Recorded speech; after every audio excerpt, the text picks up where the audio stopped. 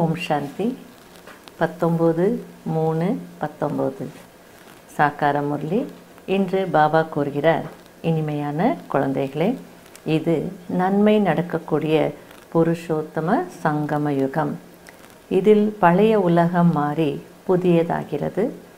இந்த யுகத்தை நீங்கள் மறக்காதீர்கள். கேள்வி பாபா சிறிய பெரிய அனைத்து குழந்தைகளையும் தனக்கு சமமாக மாற்றுவதற்காக ஒரு அன்பான படிப்பினை கொடுக்கிறார். அது என்ன? பதில் இனிமையான குழந்தைகளே இப்பொழுது தவறுகள் செய்யாதீர்கள். இங்கே நீங்கள் நரனிலிருந்து நாராயணனாக மாறுவதற்காக வந்திருக்கிறீர்கள். அதனால் தெய்வீக குணங்களை கடைப்பிடியுங்கள். யாருக்கும் துன்பம் கொடுக்காதீர்கள். தவறுகள் செய்தீர்கள் என்றால் துக்கம் கொடுக்கிறீர்கள். தந்தை ஒருபோதும் குழந்தைகளுக்கு துக்கம் கொடுப்பதில்லை. அவர் குழந்தைகளே என்னை மட்டும் நினையுங்கள் என உங்களுக்கு வழி கூறுகிறார். யோகி ஆனால் பாவ கர்மம் அழிந்து போகும். குழந்தைகளாகிய நீங்கள் மிகவும் இனிமையாகுவீர்கள் அப்படின்னு. அதனால் பாபா அன்பான படிப்பினை நமக்கு கொடுக்குறார். தவறுகள் செய்யாதீர்கள். அடுத்தது முரளியில் பாபா சொல்கிறார் எந்த குழந்தைகள் தன்னை ஆத்மா என்று உணர்ந்து ஒரு பரம்பிதா பரமாத்மாவுடன் அவங்களுடைய யோகத்தை இணைக்கிறார்களோ அவர்கள்தான் உண்மையான யோகிகள் என்று சொல்லப்படுகிறது. ஏனென்றால் தந்தை சத்தியமானவர் ட்ரூத் அப்படின்ற ஆகையால் உங்களுடைய புத்தி யோகம் சத்தியமானவருடன் இருக்கிறது. உலகத்தில் யோகிகள் என்று பார்க்கும் பொழுது அநேக விதமான யோகிகள் இருக்கிறார்கள். உங்களுடைய யோகம் ஒரு விதமான யோகம்தான். அவர்களுடைய சந்நியாசம் வேறு உங்களுடைய சந்நியாசம் வேறு. அதனால் பாபா இன்னைக்கு நமக்கு வந்து ஒரு புது டைட்டில் வெறும் யோகி அல்லது ராஜ யோகி இல்லை. இன்னைக்கு ஒரு புது டைட்டில் கொடுக்குறார் பாபா. நீங்கள் புருஷோத்தம சங்கம யுகத்தின் யோகிகள். ஆனால் யோகிகள் அப்படின்னா உலகத்துலேயும் எத்தனையோ யோகிகள் இருக்காங்க. அந்த லிஸ்ட்டில் வந்துடுவோம் அதனால தான் பாபா வந்து நீங்கள் புருஷோத்தம சங்கம யுகத்தின் யோகிகள். அப்பொழுது புருஷோத்தம சங்கம யுகம் அப்படின்னு வந்து அந்த யுகத்தினுடைய நினைவு இருக்கும் பொழுது அந்த யுகத்தில் யார் வருகிறார்? நமக்கு என்ன சொல்கிறார்? எதற்காக சொல்கிறார்? அதுக்கு அடுத்தது என்ன நடக்கும்? இதெல்லாம் நமக்கு ஆட்டோமேட்டிக்காக நினைவு இருக்கும். அதனால் இன்றைக்கி ஃபுல் டே நம்ம ஞாபகம் வச்சுருக்கக்கூடிய மகா வாக்கியம் புருஷோத்தம சங்கம யுகத்தின் யோகி. அப்போதான் அந்த கோட்ஸ் அண்ட் கான்டெக்ட் பாபா சொல்கிற அந்த வழியில் நியமங்கள் மரியாதைகள் படி நடப்போம்.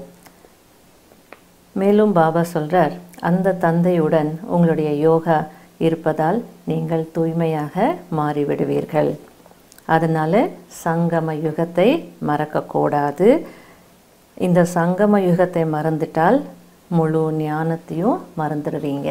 அதனால் முழு ஞானம் நம்முடைய புத்தியில் இருக்கணும்னா ஒரே ஒரு வார்த்தை சங்கம யுகம். அந்த ஞாபகம் இருக்கணும். சங்கம யுகத்தினுடைய ஞாபகம் இருந்தால் நான் சங்கம யுகத்தின் பிராமணன்.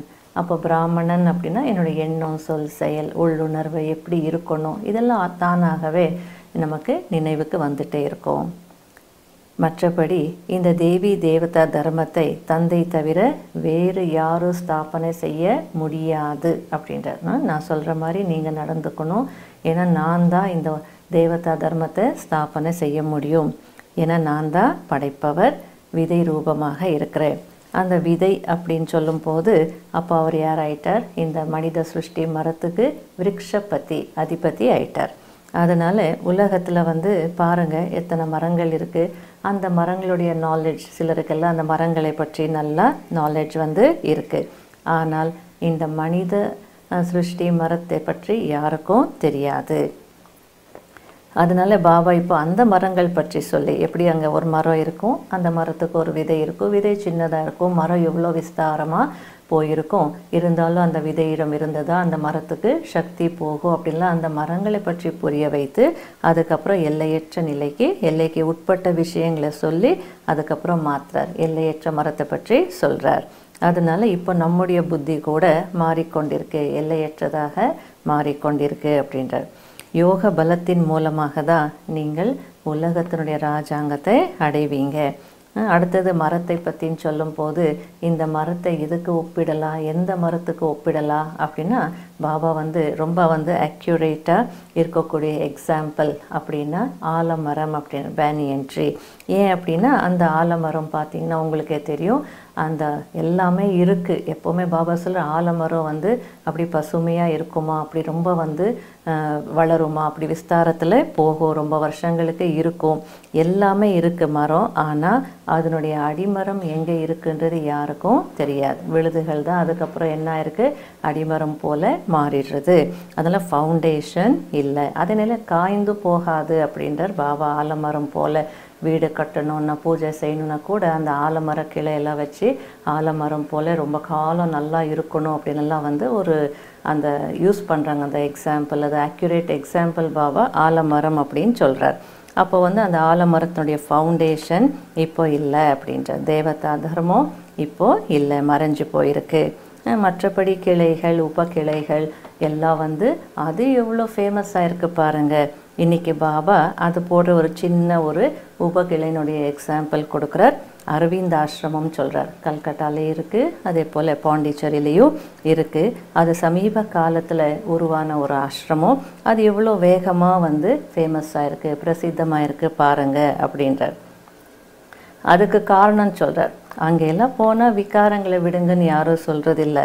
அதனால அவங்க என்ன சொல்லுவாங்க அப்படின்னா என்ன வேணாலும் செய்யலாம். அரவிந்த் ஆசிரமத்தில் நாங்கள் ஒரு தடவை மவுண்ட் அபுல இருந்து மூத்த சகோதரர் சகோதரிகள் ரொம்ப வருஷங்களுக்கு முன்பு வந்திருந்தாங்க. அப்போ நாங்கள் எல்லாம் கூட்டிகிட்டு போய் காட்டினோம். அப்படி காட்டும் போது உங்களுடைய கொள்கைகள் என்ன அப்படின்னு ஷீலுபைன் கேட்டாங்க. அப்படி கேட்கும்போது அந்த எங்களை வந்து அந்த எல்லாக்க சொல்லிகிட்டு இருக்கக்கூடிய அந்த ஆசிரமத்தினுடைய ஒரு தலைவர் அவர் வந்து என்ன சொன்னார்னா இங்கே நாங்கள் எதுவுமே யாருக்கும் எதுவுமே சொல்ல மாட்டோம். அவங்க யாரையும் டிஸ்டர்ப் பண்ணாமல் என்ன வேணாலும் அவங்க செய்துக்கலாம். அதாவது அவர் அவங்க என்ன வேணாலும் பண்ணலாம். ஆனால் அடுத்தவங்கள டிஸ்டர்ப் பண்ணக்கூடாது. அவ்வளோதான் அவங்க ரூம்மேட்டையோ பக்கத்தில் இருக்கக்கூடிய அந்த ரூம்மேட்டையோ எதுவும் வந்து பண்ணக்கூடாது. அவ்வளோதான் மற்றபடி இங்கே அந்த மாதிரி கொள்கைகள் அப்படின்றது எதுவும் இல்லை. யார் என்ன வேணாலும் செய்யலாம் அப்படின்னு சொன்னார். அதனால் பாபா அந்த மாதிரி இருந்தால் ஃபேமஸ் ஆகும் கூட்டம் போகும் ஆனால் இங்கே பாபா என்ன சொல்கிறார் காம விகாரம். பரம எதிரி. விகாரங்களை விடுங்க அதை நினைக்க வேணாம் இது நினைக்க வேணாம் இப்படி இருங்க அப்படி இருங்க என்னை மட்டும் நினைங்க. எவ்வளோ கண்டிஷன்ஸ் இருக்கு இல்லையா? அதனால இங்கே வந்து அந்த க- கூட்டம் குறைவு அல்லது அவ்வளோ வேகமாக ஃபேமஸ் வந்து ஆகாது மெது மெதுவாக தான் ஆகும். அடுத்தது பாபா வந்து எங்கேயாவது சத் சங்கங்கள் ஏதாவது நடந்ததுன்னா நீங்கள் அங்கே போங்க அப்படின்றார். அது ஹனுமானுடைய எக்ஸாம்பிள் கொடுக்குறார். ஹனுமான் வந்து ராமருடைய கதை கேட்க ரொம்ப ஆசை. எங்கெல்லாம் ராமர் கதா காலட்சேபம் நடக்குமோ அங்கெல்லாம் போயிட்டு அமருவார்? அது எப்படி அமருவார்? அந்த செருப்பு விடக்கூடிய இடத்துல போயிட்டு ரொம்ப பணிவாக சேவாதாரியாக அமர்ந்து அந்த ராமருடைய கதையை கேட்பார்? அதுபோல் நீங்களும் வந்து ரொம்ப பணிவாக சேவாதாரியாக எங்கெல்லாம் சொற்பொழிவுகள் நடக்குதோ அங்கே போயிட்டு நீங்கள் பணிவாக கேளுங்க. அப்போ அங்கே ஏதாவது வார்த்தைகள் சொல்லுவாங்க. அதாவது நீங்கள் வந்து வி- அந்த விகாரங்களை வென்றால் உலகத்தையே வென்றிடலாம். மாயாவை வென்றால் உலகத்தையே வென்றிடலாம். அதெல்லாம் பக்தி மார்க்க கதைகள்லேயும் வருது கீதையிலையும் வருது. அந்த மாதிரி வார்த்தைகள் வரும்போது ரொம்ப பணிவாக அதாவது அன்பாக நீங்கள் வந்து கேட்கணுமா? மிகவும் அன்பாக நீங்கள் கேட்கணுமா? விகாரங்கள் மீது வெற்றி அடைந்தால் உலகத்துக்கு எஜமானர்கள் ஆயிடுவீங்கன்னு சொன்னீங்க. ஆனால் அந்த விகாரங்களை வெல்வதற்கான வழி என்ன அப்படின்ற மாதிரி தெரியாமல் நீங்கள் நீங்கள் சொல்லவே இல்லையே. எப்படி தூய்மை ஆகுவது அப்படின்னு கேட்கணும் அப்படின்றார் பாபா. நான் எவ்வளோ புரிய வைக்கிறேன்றார் பாபா. குழந்தைகளே தந்தையை நினைவு செய்யுங்கள். தெய்வீக குணங்களை கடைப்பிடிங்கள் உணவு விஷயங்களிலும் மிகவும் எச்சரிக்கையாக இருங்கள் அப்படின்றார். அந்த உணவு அப்படின்றது ஒரு முக்கியமான ஒரு ரோல் வந்து பிராமண வாழ்க்கையில் அதை அது ப்ளே பண்ணுது. அதனால் உணவு விஷயத்தில் கூட மாயை வந்து வர்றதுக்கு வாய்ப்பு இருக்குது அதுலேயும் கட்டுப்பாடுன்றது வேணும். அப்போ வந்து எவ்வளவு சொல்லியும் குழந்தைகள் வந்து செய்யறதில்ல. அப்போ பாபா என்ன புரிஞ்சுக்கிறாரா? அவர் என்ன நினைக்கிறாரா? இன்னும் டைம் தேவை போல. ஆ, இவங்க புரிஞ்சுக்கிட்டு மாறக்கூடிய நேரம் இன்னும் வரல. சரி இன்னும் கொஞ்சம் நேரம் ஆகும் அப்படின்னு வந்து பாபா அவர் வந்து உணர்வார். அதனால் தன்னை ஆத்மா என்று உணர்ந்து ஒரு தந்தையை நினைவு செய்யணும். இதுதான் ஹையஸ்ட் பவர் எவ்வளோ அழகாக பாபா சொல்கிறார் உயர்ந்த சக்தி தன்னை ஆத்மா என்று உணர்ந்து தந்தையை நினைப்பதில் தான் இருக்குது அதனால் அந்த ஹையஸ்ட் பவர் அந்த மாதிரி செய்து அந்த பவர் நம்ம வந்து அடையணும். மற்றபடி பாபா அமைதியின் பாடத்தை கற்றுக் கொடுத்துட்டு இருக்கிறார் இல்லையா? அதனால் அமைதியாக வாழ்கிறதுக்கு நம்ம வந்து பயிற்சி செய்யணும். கோபம் வந்தது அப்படின்னா என்ன செய்வோம்? அசாந்தியை பருப்போம். அனைவரையும் அசாந்தி ஆக்கிடுவோம் அதனால அமைதியினுடைய பாடத்தை பாபா வந்து நமக்கு சொல்லி கொடுத்துட்ருக்கிறார் அதை நம்ம படிக்கணும்.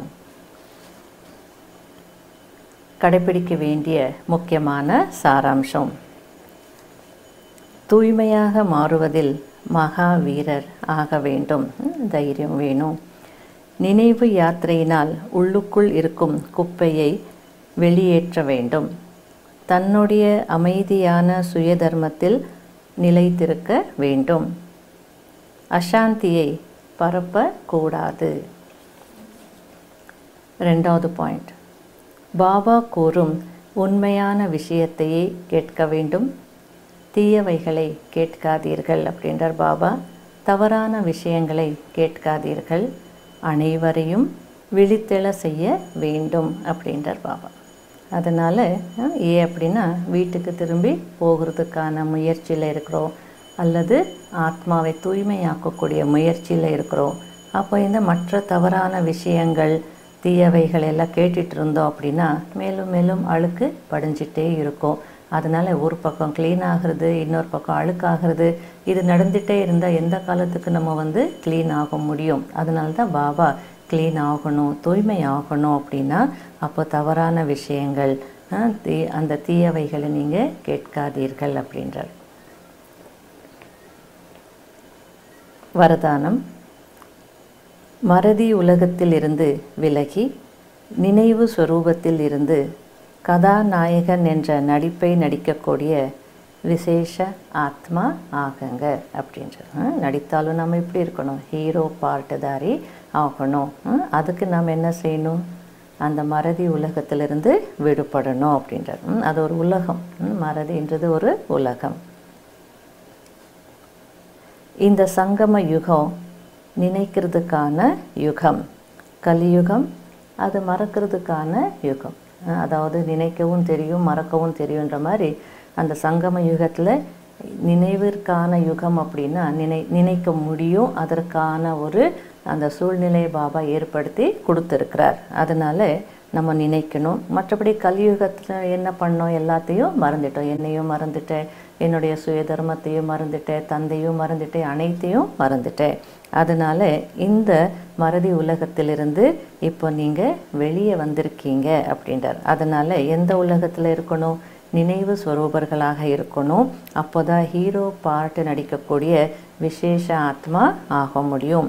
அதனால் நினைவு ஸ்வரூபத்தில் இருக்கக்கூடியவர்கள் தான் ஹீரோ பாட்டு நடிக்கக்கூடிய விசேஷ ஆத்மா அப்படின்றார். அதனால் இந்த நேரத்தில் நீங்கள் டபுள் ஹீரோ ஒரு ஹீரோ அப்படின்னா கதாநாயகன் இன்னொரு ஹீரோ அப்படின்னா டைமண்ட் ஹீரா அப்படின்னா டைமண்ட் அதனால ஒரு ஹீரா அப்படின்னா அந்த ஒரு ஹீரோ கதாநாயகன் அப்புறம் அவரும் ரொம்ப வேல்யூபிள் அதே நேரத்தில் ஹீரோ பாட்டு நடிக்கக்கூடியவர். அதேவன் டைமண்டுக்கும் என்ன இருக்குது எவ்வளோ மதிப்புன்றது இருக்குது அதாவது டைமண்ட் போன்ற வாழ்க்கை அப்படின்னு சொல்கிறார் அதனால் டைமண்ட் போன்ற வாழ்க்கையும் வேல்யூபிள் வாழ்க்கையும் வாழ்ந்துட்டுருக்குறோம் அதே நேரத்தில் ஹீரோவாகவும் கதாநாயகனாகவும் இருக்கிறோம். அந்த பாட்டு நமக்கு கிடைச்சிருக்கு. அதனால மனசுக்குள்ளே எப்போவுமே இந்த பாட்டு ஒலிச்சிட்டே இருக்கணும்.